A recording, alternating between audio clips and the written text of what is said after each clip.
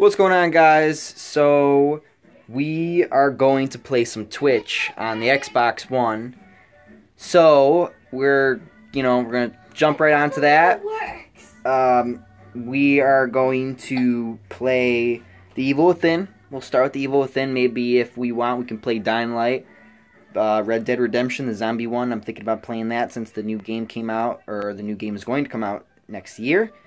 Uh, there's a lot of other things to talk about. We got to do reviews. We got to do all these other things. We got to do a lot of other things. But you know, let's just let's just take a break from that. Let's just let's just go play some zombie games. You know, let's play some zombie games. We'll play some horror games.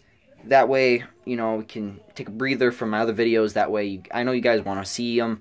Uh, I promise I will get out the reviews for Scream Queens, and uh, I will get out the review for uh, The Flash. I saw The Flash uh, Tuesday, last Tuesday, so I want to show you guys that one.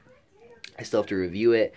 Um, but but yeah, let's let's just take a break from that. Let's just play some Twitch.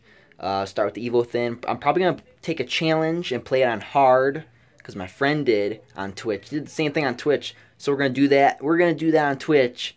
We're gonna see how we do, and if we don't do so well, then we're just gonna play on wherever I was playing at.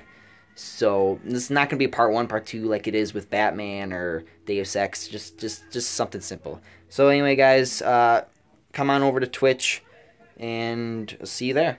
Keep rocking and rolling.